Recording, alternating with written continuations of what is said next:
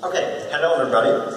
Uh, my name is Daniel Speck and uh, I've investigated ball localization in terms of RoboCup humanoid soccer. Uh, the paper is based on my work uh, of my bachelor thesis. Um, Pablo Barros and Cornelius uh, Weber are my advisors and Stefan Wermter um, is the professor, and the head of uh, knowledge technology where I write my thesis. Okay, let's come to the motivation. Uh, the new rules in uh, RoboCup humanoid soccer introduce multicolored balls, and traditional algorithms uh, struggle with the new multicolored balls because, as you can see, uh, when the ball is moving or when the ball is not moving, uh, the color distribution is very, very hard.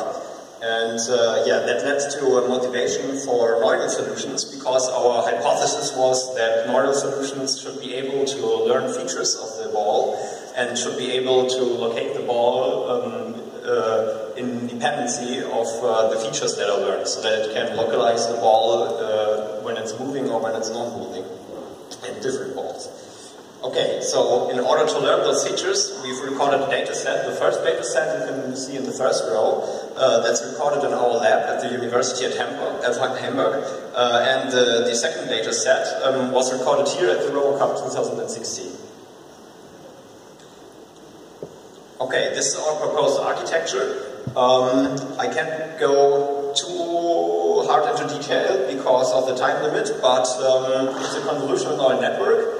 Uh, in the first uh, layers, the convolution happens. That's basically uh, convolving the 2D spatial information of one image, and we are feeding the whole image of the camera input uh, into the model. No pre-processing at all is happening there. And uh, additionally to the convolution, um, we are doing max pooling. That's basically picking interesting features out of the convolution and um, yeah, a method of nonlinear downsampling uh, so that the information gets smaller in size uh, um, for predicting in the uh, last layers. The last layers are fully connected. You can see this uh, where the orange vector is displayed. This is one linearized vector, and uh, the last layers are classifying this layer. We have two different streams, one for the x and one for the y output. That's basically classifying the x and y position of. Um, model 1 was working on the full-size image, and uh, apparently our robots uh, do not have much computational power, so working on an 800 by 600 dimensional image uh, is too hard for them. Uh, therefore, we invented Model 2, uh, Model 2 works on downscale images, 200 by 150 in size, and uh, this actually runs on our robots. It has a performance of about 3 to 4 frames per second, so it's basically enough to localize the different scenes. Um, the only thing we changed uh, was one last pooling step because the information in the third layer, as you can see, is already downscaled to 50 by 38 uh, in dimensions. And uh, this is already so small that balls that are uh, at a far distance, like 5-6 meters to the camera, are so tiny that the network cannot uh, classify them and localize them anymore. So we just did two pooling.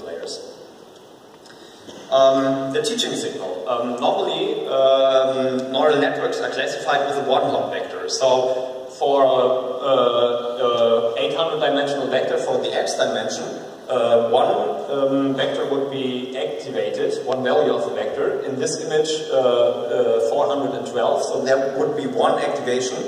But instead of uh, taking um, one hot encoded vectors, we decided to go for probability distributions. This has uh, several benefits.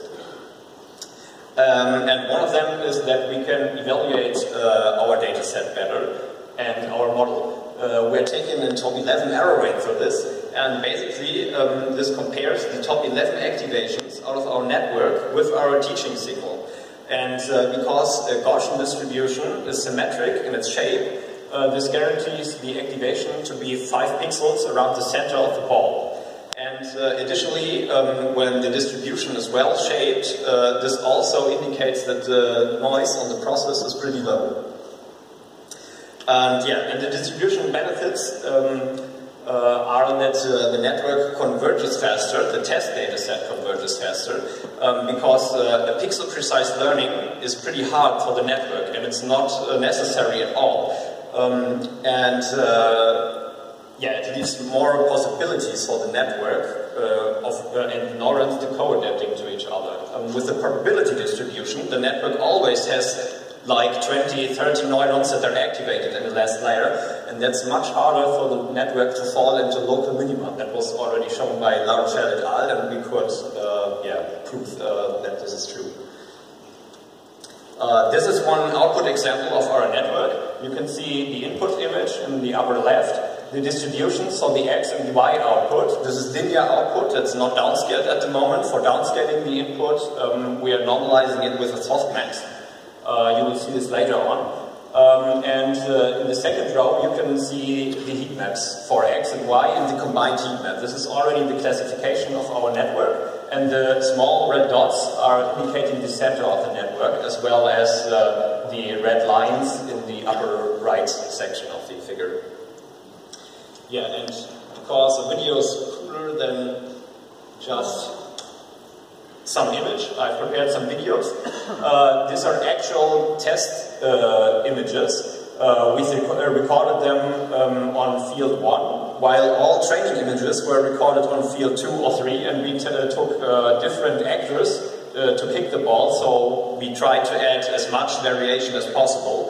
And the network has none of the actors, nor the field, nor anything else seen before, so it's completely test activations here.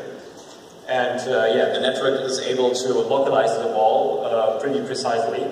Uh, then the ball is uh, really far away, like here. It's always some pixels off because, as I mentioned, the activations are really uh, small in size, 30 by uh, 50 by 38 in, in, size, and it's so small that the network is always some pixels off. But when it's getting, but, but then the ball gets nearer to the camera, you can see that the activation is really accurate again.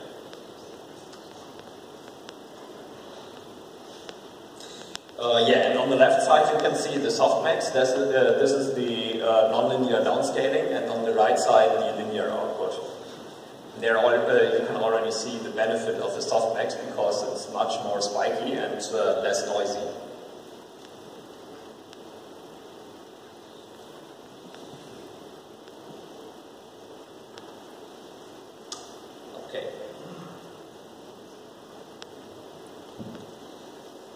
Uh, to evaluate our model, we um, took different activation functions and uh, we noticed that a fast saturation um, is best for our model. That's a soft sign activation, the red line here you can see.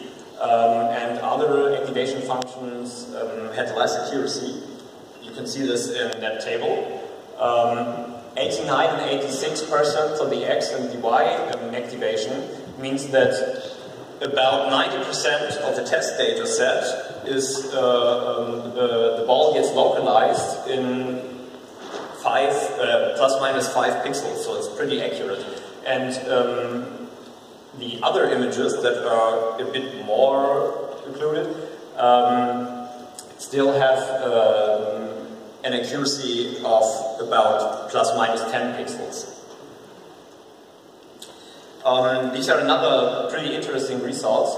Um, at first, the small net that actually can run on the robot were somewhere at 60% accuracy, so 0.6 here in the upper left, at the top 11 accuracy. And um, just by adding the new data set here from the RoboCup 2016, the test accuracy on our old data set increased. That is pretty interesting because it tells that the network is actually learning the features of the white ball rather than focusing really on one single ball because the ball in our lab was a Brazuca ball from Brazil and the ball here was the Euro 2016 ball and the accuracy uh, really increased on the old ball although the new ball was trained. Okay, so coming to the conclusion. Um, we proposed a supervised um, uh, convolutional neural network with probability distributions, and uh, the network is able to localize the, uh, the new multicolor balls, different multicolor balls, and no sliding window approach or any pre-processing is happening here. So it's a pretty interesting and uh, quite novel approach. And um, the localization is pretty accurate too, and can run on the robot with the small networks. Okay, coming to the future work. um, varying the distribution standard deviation can improve the results. At the moment, uh, we label our images and just take the center of a ball. So uh, no matter if the ball is far away or really near to the camera, the probability distribution at the moment always has the same width. And that's not really good because when the network, uh, when the ball is uh, far away, the network looks not only at the ball but also at the environment, like plus minus 5, 10 pixels. And then the ball is really near to the camera. Uh, the network always classifies something on the surface of the ball rather than the whole ball. So varying the width of the standard deviation um, of our normal distributions can really increase our results and we are working at the moment on uh, labeling our uh, training data sets with bounding boxes um, to implement this. And another thing is uh, changes in colors and lighting, which lower the accuracy, obviously.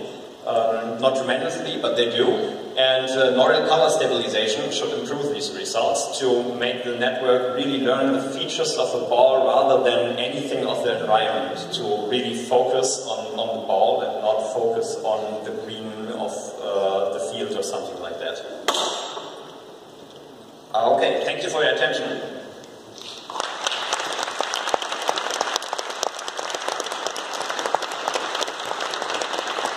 was a pleasure for me to be here, and uh, if you have any further questions, my mail is here. You can read the paper uh, at our site. Uh, you can come to me after the talk. Um, and uh, in one week, I'm heading the defense of my bachelor thesis, and after this, I will publish the code on GitHub and also the thesis, if someone is interested. Thank you, and we can get some questions. Uh, what processor do you use for this? It's on a robot live in the game, right? Um, we haven't used it live in the game so far because we haven't integrated uh, this in our software. So I were using um, yeah custom software for, for the robots to evaluate this data. Okay, so what, what, what uh, so it was not on a processor on, on, on a robot. Uh, of course, it was. It was. Ah, okay. What processor was that?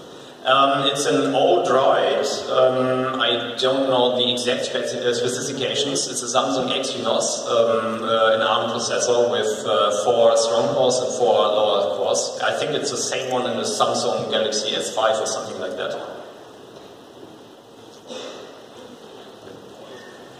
Uh, actually, I have two two questions. Yeah. Uh, one of those is, uh, have you had any results with the new ball this year?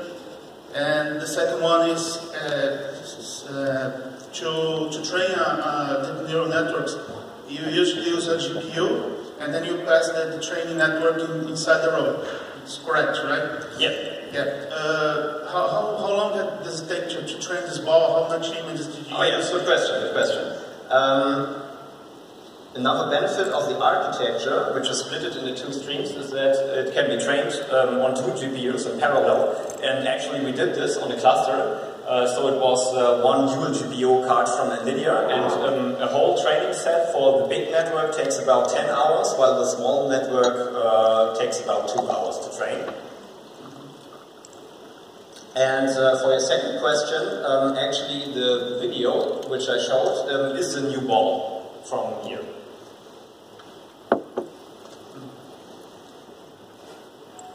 So we have problems with, uh, this is the pattern of the, the pattern of this, this ball. Uh, how do you evaluate this uh, these results?